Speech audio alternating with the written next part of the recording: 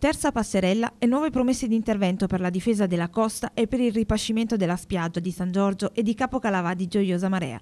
Questa volta ad impegnarsi personalmente con interventi celeri e risolutivi dopo la Lobello è stato l'assessore regionale territorio ambiente Maurizio Croce che ieri pomeriggio ha incontrato il sindaco Spinella e la giunta per affrontare ancora una volta il problema dell'erosione della spiaggia e le conseguenze su strutture e lavoro, danni messi a rischio dalla drastica diminuzione del litorale.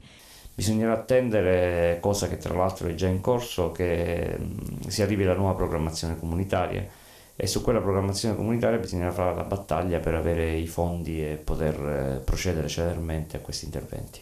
Io dico solo che gli interventi della costa sono importanti, bisogna farli, bisogna farli velocemente, ma devono essere veramente supportati da uno studio che non eh, ci consenta che tra 10 anni o tra 15 anni di riavere lo stesso problema.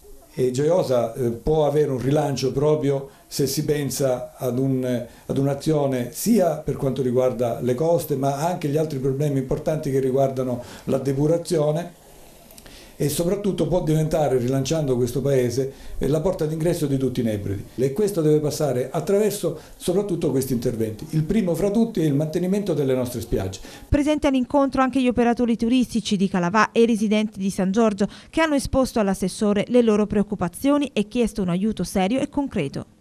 Speriamo che non venga intrappolato nella burocrazia, nel pantano della regione siciliana perché l'assessore sembra motivato e quindi potrebbe essere un ottimo interlocutore per portare avanti queste problematiche sia di San Giorgio sia di Capocalavà.